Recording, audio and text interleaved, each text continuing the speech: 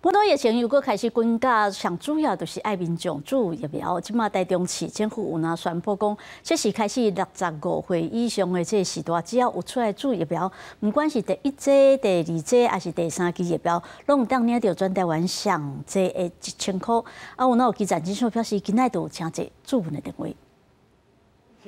市大人一透早就来到诊所报道，指苗要注莫德纳疫苗，因为台中市政府宣布二十八号开始，六十五岁以上的长辈甲关注民国十五岁以上，只要来注新冠疫苗，无分一二三剂，除了会当领到中央五百块的礼券，另外佮加五百块的现金，总金额一千块，全台上悬，顺利催出打气。你来就是大家互相配合政府嘛，诶，较小心的，哎呀，啊，卖亲戚吧。另外，无限个别户籍，即日起，民众只要注第三剂疫苗，就会让得到一份福袋，内面有商家折扣优惠，要让为着福袋来出门。非常好啊，因为可以保护，然后又可以领奖金。一种鼓励，